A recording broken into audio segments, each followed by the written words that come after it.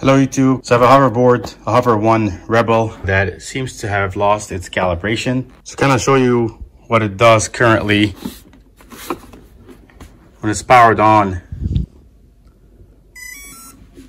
As you can see, one side is slanted while the other is flat. It's supposed to be level so somebody can ride it, but this one is slanted and as you can see, it's really impossible to uh, actually ride it without it dragging on the floor. So gotta get it recalibrated. To calibrate your hoverboard, start out with the hoverboard placed on a flat surface with the hoverboard off. Manually level your hoverboard such that it is level on the flat surface. This manual leveling is the actual calibration of your hoverboard.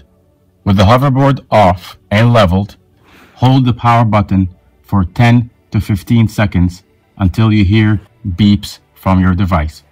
This can vary based on model.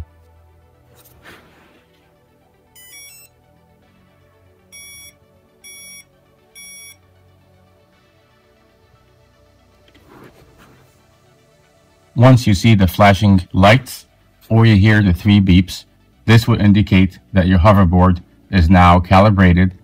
Once the calibration is complete, turn off your hoverboard. To make sure that your hoverboard is correctly calibrated, tilt it to one way.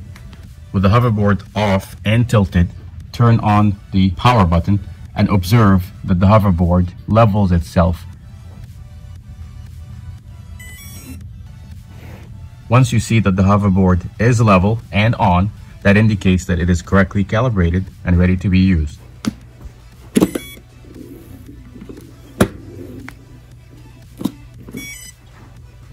This completes your hoverboard calibration. I hope you found this video helpful. If you did, give it a like and subscribe to my channel. Thank you.